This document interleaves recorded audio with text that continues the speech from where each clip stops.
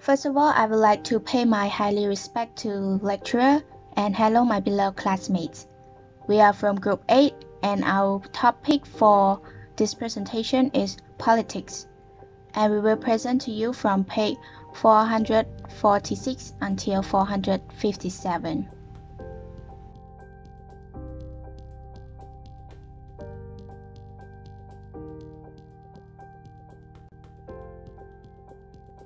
Now I would like to introduce our group members. So the first speaker is Chap Sophanoch and the second speaker is Sakhan Povsreyleap and the last speaker is Horn Heng Sok Lip. Now before we move on to our presentation, I would like to introduce to you our contents. So the first part is who rules the United States and the second one is war and terrorism implementing political objectives. And the third one is a new world order. And now I would like to pass the stage to the first speaker, which is uh, Sophanoch. Okay, so now let's start from my part. So I'm responsible for who rules the United States. People form a government and give it to monopoly on, on violence to protect themselves from oppressors. However, the risk is that the state can turn that force and against its own citizens. And people must find a balance between having no government. This would lead to anarchy. So the meanings of anarchy is a condition of disorder and violence, and having a government that protects them from violence, but it also may turn against them.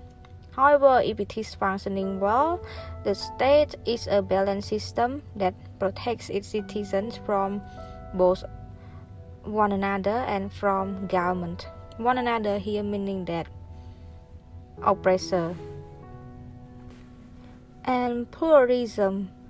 The meaning of pluralism, a diffusion of power among many special interest groups, prevents any one group from gaining control of the government and using it to oppress the people.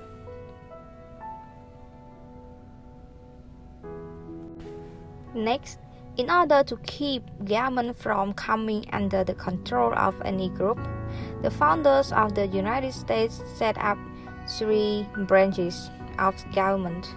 The first branch is, as you can see in the slide, the executive branch, the power of the president, the judiciary branch, the powers of the courts, and the legislative branch. Each in the branch is sworn to uphold the Constitution and also guarantees rights to citizens. And each one of the brands um, have mistakes, the two can invalidate the one that have mistakes. This system known as checks and balance, like I put in the note here, checks and balance was designed to ensure that no one branch of government dominates two others. They have the same right and no one can dominate other or can control two others because they have the same right of it. Next, let's go to the conflict perspective of the power elite. According to the sociologist Guy Mears in 1957 took the position that the country's most important matters are not decided by logists or even by Congress. The decisions that have the greatest impact on the lives of Americans and people across the globe are made by a power elite. The meaning of power elite consists of the top leaders of the largest corporations, the most powerful generals and admirers of the armed forces, and certain elite politicians, or the president, the president's cabinet, and senior members of Congress who chair the major committees. So all of them who control power and make decisions and also can shape the world. So whether the the three groups that make up the power elite, like the top business, politician, and military leaders, they have equal right. Based on the Mars say that they are not, and the most power, he said, are the corporate leaders. Because all three segments of the power elite view as essential to the welfare of the country. If you look at the picture here, power in the United States, the model proposed by C. Wright Mills. So here, most power and to the least power. So move on to review is right. Between functionalist and conflict perspective, both of them cannot dominate others because they have their own level. And according to the sociologist, saying that they don't have any proof to answer for this question yet.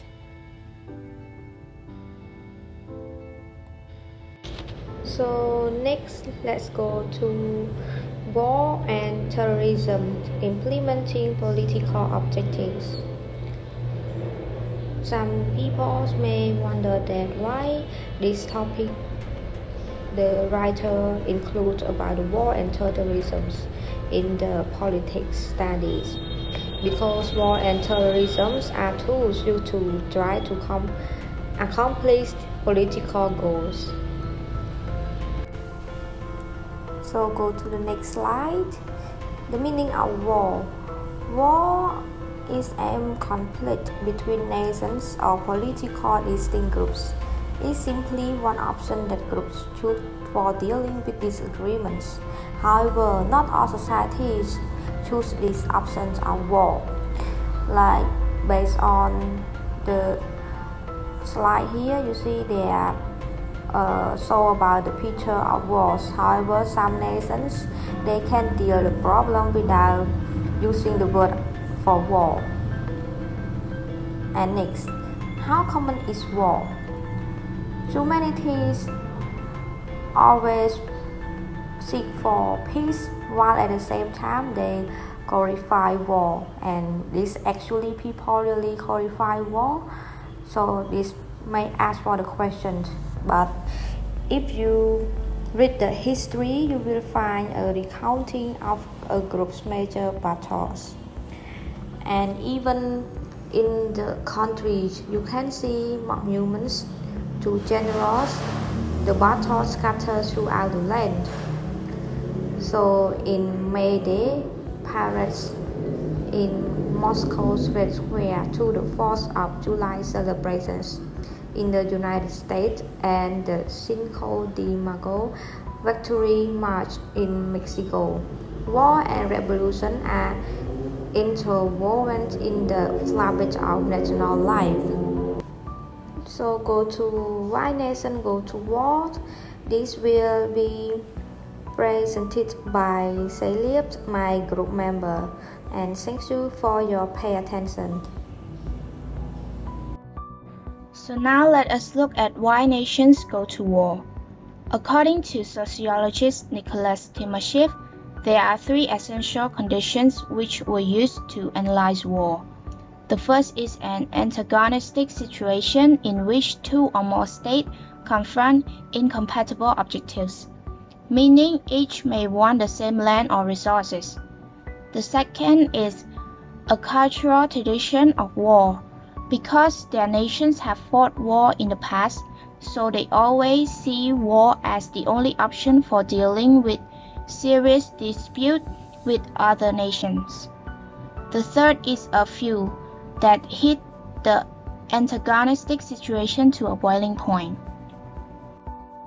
There are seven few which the country's leader want to achieve from war. The first one is revenge, meaning setting old score from earlier conflicts. The second one is power, means to rule over weak country. The third one is prestige, meaning to defend the nation's honor. The fourth is unity, to unite rival group within their country. The fifth is positions, means to protect the leader's positions. Um, number six is ethnicity, is to bring enemy under their rule. And the last one is beliefs, to forcibly converting other to have the same political beliefs. Move on to cause of war. There are three causes of war in this chapter. The first one is cause of life, which is a higher capacity to inflict death. For example, the United States fought in Vietnam at a cost of 59,000 American and about 2 million Vietnamese lives. And the second one is cost of property, which mainly focus on money. Example in the textbook have shown that the United States has spent $8 trillion on 12 of its war. And the last one is uh, a special cause of war, dehumanizations. Now let us take a closer look at a special cause of war. What is dehumanization? Dehumanization is the act or process of reducing people to objects that do not deserve to be treated as human.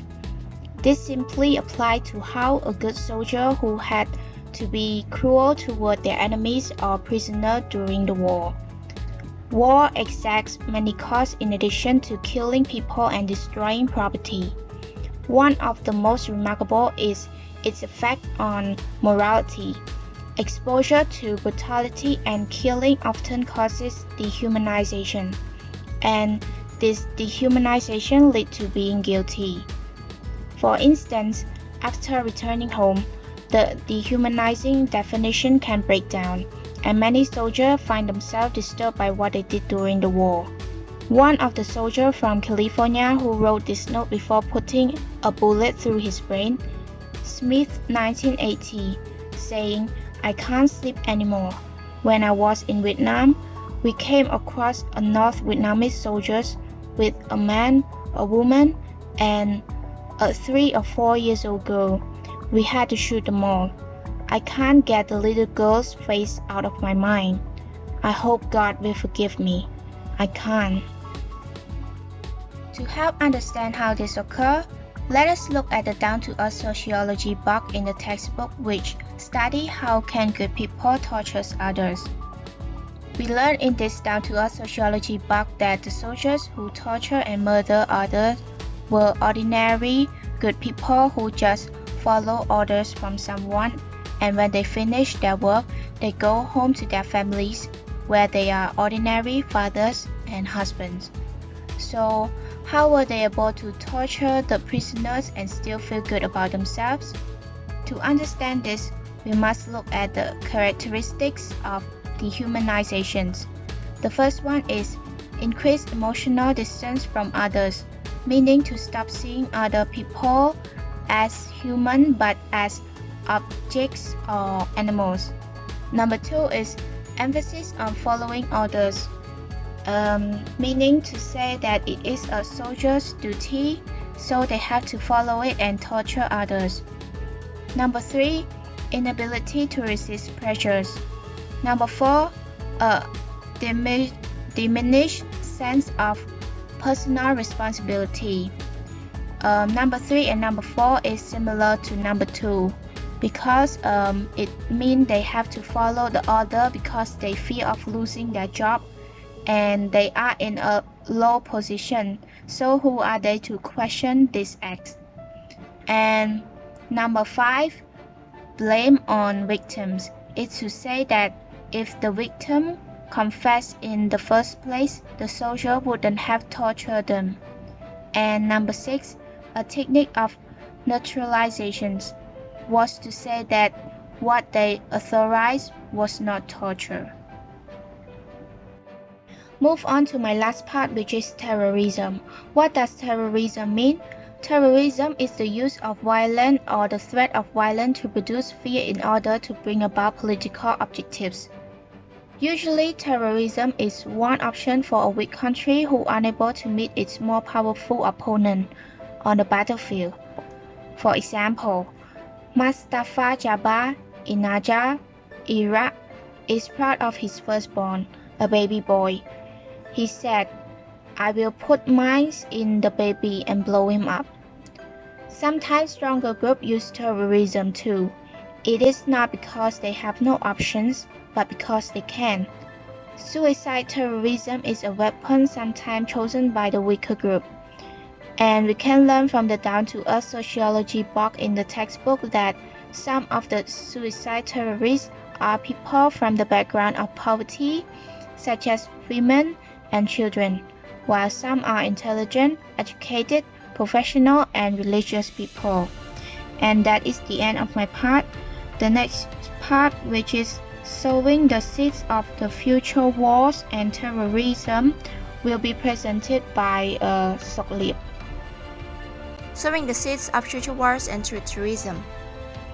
Weapons could be signs of might, power, prestige, or, or protection.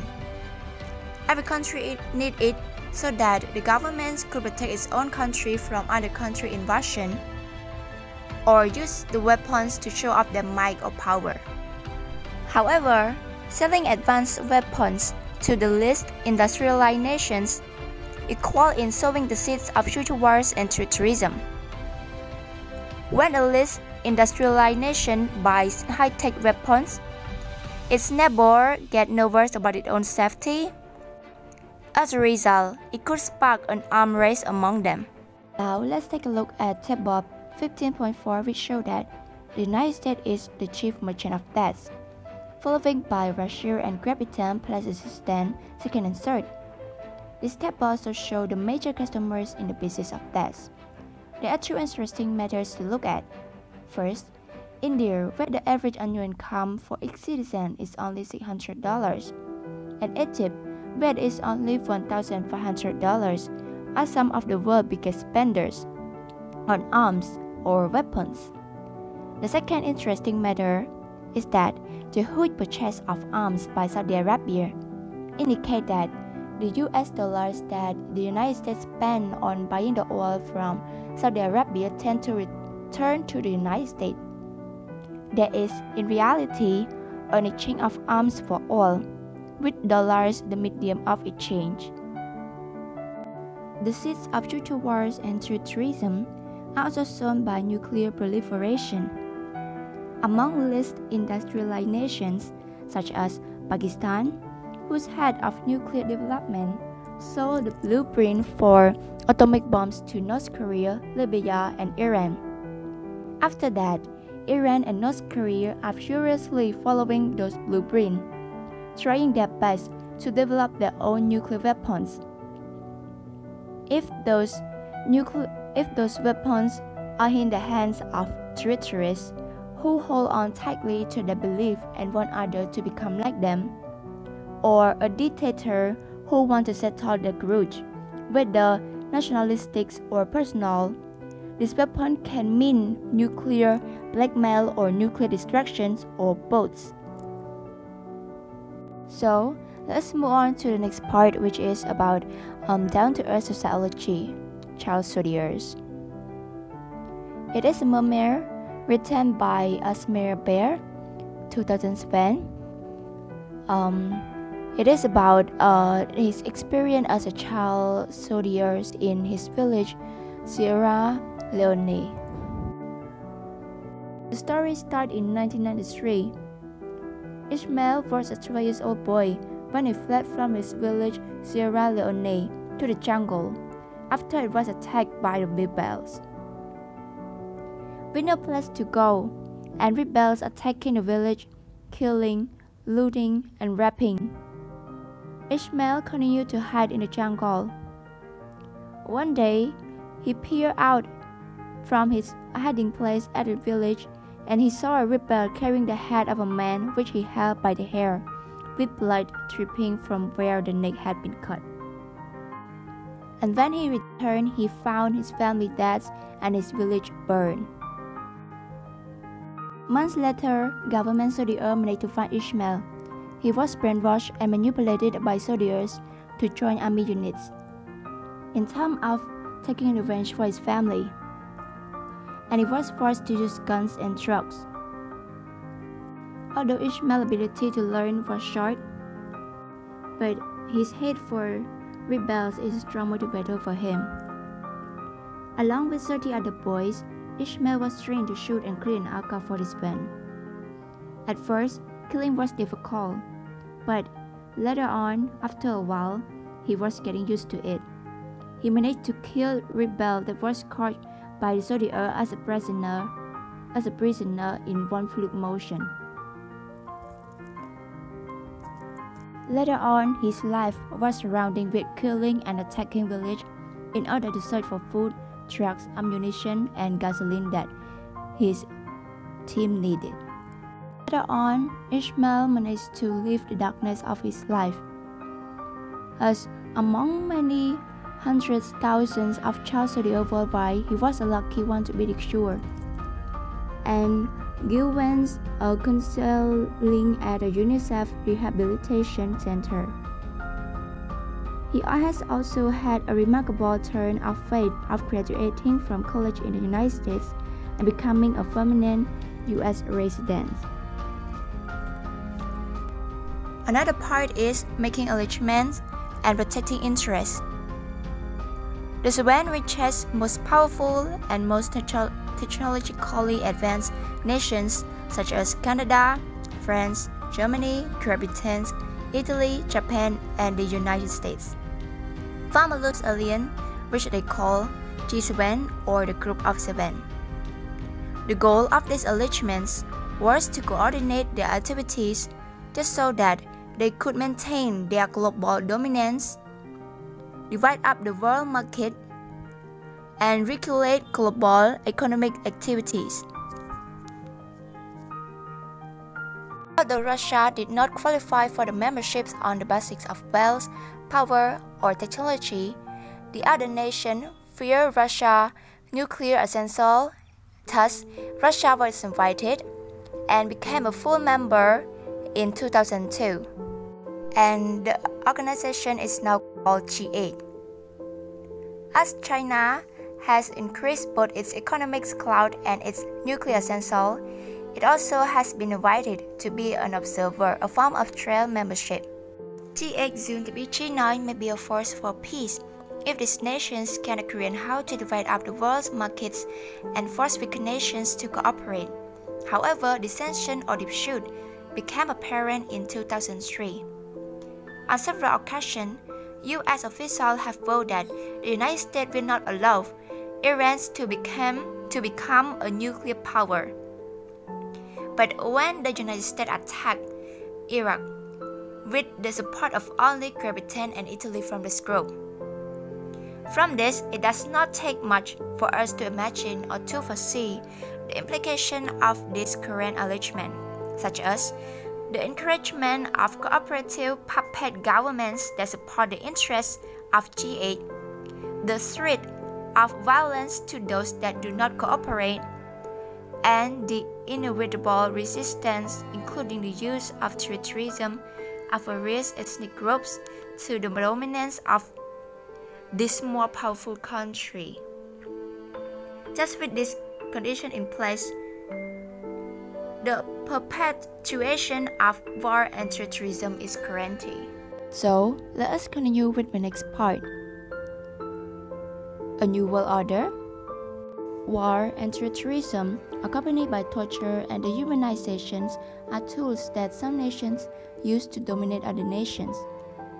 But the use of war and terrorism to dominate other nations or the globe has failed. However, in a new world order, people change direction, not to use war, but to turn in nation cooperating for economic reasons. Perhaps the key events that we already heard of happening in our era is the globalization of capitalism.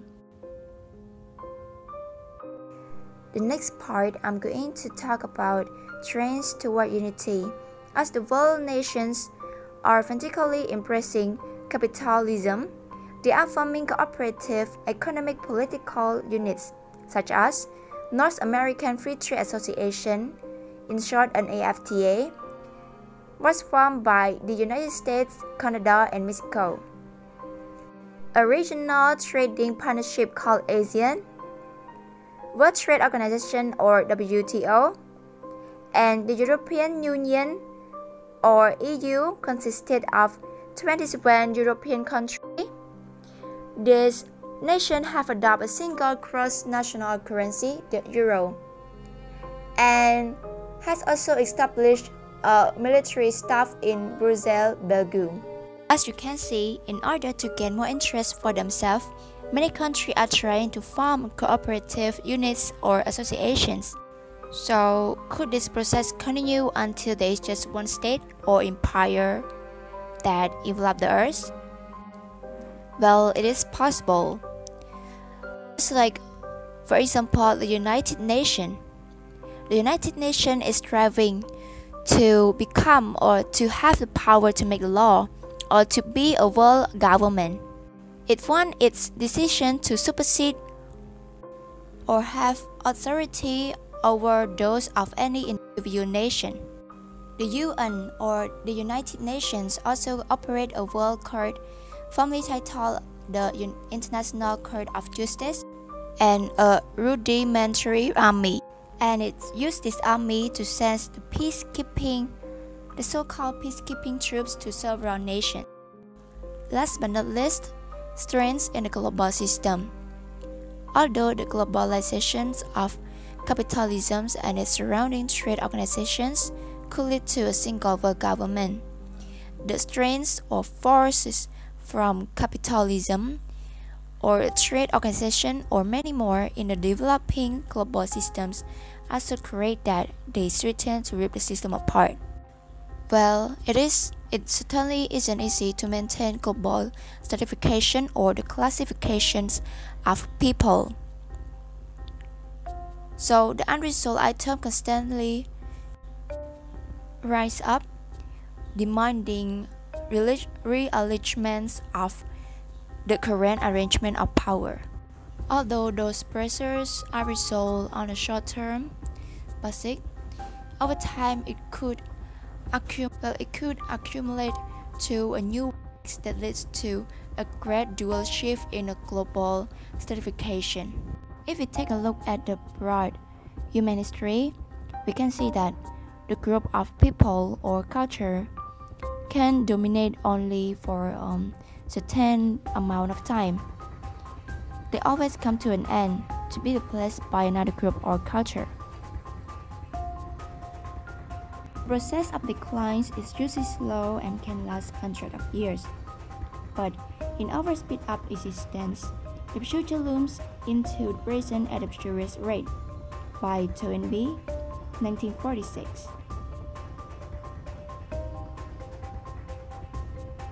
From the look of this, we can see that the declines of dominance of present powerful country could happen in the future. Well, it is certainly not without um, resistance or bloodshed. What the new political arrangement of world power will look like is anyone guess. Although there are indications that point to um, ascendancy of China, since there are signs of growth of its um, economics and nuclear sensor. But one thing is for sure is that um, the political arrangement of present could like um, will give way, creating a new world and um, paving a new path for future generations. And this is the summary of the main points of this presentation. So please take a moment to look at it and then try to recall if you remember some of these points in our presentations. And this has come to an end of our presentation. So thank you for taking your precious time to listen to our video.